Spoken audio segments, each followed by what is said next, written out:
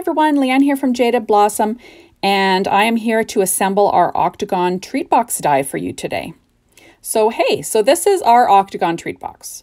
So what you want to do is you want to cut out two of the main box pieces. You want to cut out a handle and uh, like the front layer. Now, I've made this in the past. You can make this into critters.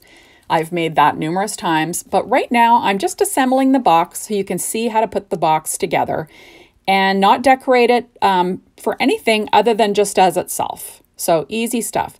So this is Papertrey Ink white cardstock, and I'm using um, Papertrey Ink's Textile Funky Town um, pattern paper to decorate the front. That's that little uh, hexagon that goes on the front. So I will quickly apply this tape to all the tabs. Now, obviously, um, what um, a little Halloween face or jack-o'-lantern face comes with this set, so you could cut this in orange and make yourself an adorable little jack-o'-lantern, obviously. And I've done that in the past. Also, we have our critter add-ons, our Christmas add-ons, our Halloween add-ons, our, um, what else? Halloween add-ons, our Valentine add-ons. There's lots of add-ons that go with this set. Super good to have in your arsenal to make treats. And the nice thing is, is you could put a little gift in this, you could put treats in this, and the same thing goes for everything I've said I'm making these videos.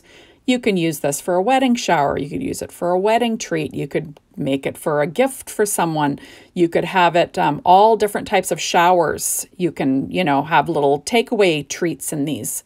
Um, just lots of fun. You could put a gift card in here. That would fit a little tiny like like jewelry, earrings, necklaces, anything like that would be super cute in this little box. I think making these for a class would be fun too. Now all my die cutting today was done with my Gemini machine as per usual. That's kind of my deal. Now I'm putting a piece on the inside of the bottom flap of one of them. So like I said, this is super easy stuff. It just looks fiddly. It's not. Once you do this once, it's, it's really easy to put together. Trust me. So I'm going to quickly apply this red line tape. So I guess I'll talk about something else while I do this. Jaded Blossom has tons of adorable treat boxes and bags and, you know, Eh, they are a treat related company. That's kind of what they first went into. They forayed into like candies and treats. So they have a lot of different products that, that you can use uh, or get from Jaded Blossom to make these things. Lots, like they've got clear bags that they sell. They've got little treat containers that they sell. Um, Obviously, they have all of these treat dies that they sell, um, all different types. They also have stamp sets that go along with a lot of these um, treats that you can, you know, decorate your treats with stamps. You can make tags for those treats. They kind of just really rock the treats, Jaded Blossom. Now, obviously, you know, I make cards with Jaded Blossom stuff more than I make treats. That's true. But they really do excel at the treat game. And that's basically what this is. So I just wanted to build, uh, you know, all of these treats for you so you can see how easy it is to make these treat containers. Not difficult at all. So I like to stick, make sure my red line tape is stuck down well with my Teflon bone folder. It just makes it easier to peel off the release paper. Now I'm going to quickly fold this on all the score lines.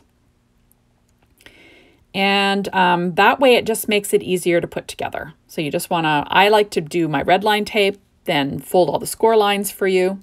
I missed the bottom flap on that one. But you know, it works. There we go. Fold all these in. And then we will peel the tape off these little tabs and then start assembling these guys. So like really easy stuff. I like to do this these treat boxes in like a nice solid cardstock, but you could liter literally have cut this out of pattern paper and saved the need to to put a layer, like an accenting layer on top, and then you would have been done. Like, you know, eh, you could do whatever you'd like, really. I think using a fun um, pattern for a holiday would be cute too. So there we go, peeling off all my red line tape. This is all in real time. I did not speed this up. So this is how long it took me um, to put this together, you know, right from the beginning. There we go, not including die cutting time, right? Because I did that already. So I already folded in one. let's do the other one. Peel off all my little red line tape pieces, and then we will assemble this side of the box. There we go. So fun stuff and easy. This is not hard. Now you want to attach the sides. So you're just going to literally stick the tab to the corresponding side right next to it. There we go. Now we're all set. Now I'm going to do the exact same thing on the other one. Whoops. There we go. I already did that. I'm losing my mind. Okay, you're going to want to line up this little folded side with the unfolded side. So there you go. I'm going to line up my little edges. It's not difficult. There we go, because it's in three different three different tabs, so you can sort of work your way around the corner and do the same thing on this side. So easy stuff. Now you'll notice that there are little holes at the top of this box. You could put a string through there. You could put brads through there and attach the little handle like I do, or you could stick the handle down on the inside. You can do whatever you like, or you could just skip it and not use it at all. That's totally up to you. So now I'm going to fold in my flap. I just have the um, red line tape on the one flap. So you just want to fold that in and keep it nice and square. Line up your edges so it doesn't get wonky. There we go, and we will flatten that down. So, like I said, Papertrey Ink makes a great thick cardstock um, for these little treats.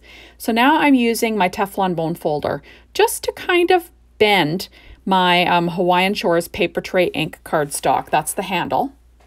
And I just want to like sort of bend it so it doesn't get kind of like um, folded looking, right? And what I'm going to do is I'm going to pop on this handle and I'm going to put it on the outside. And I'm going to use these brads. Remember these brads from back in the day? This is perfect. They, it's exactly perfect for this. So pull out those brads.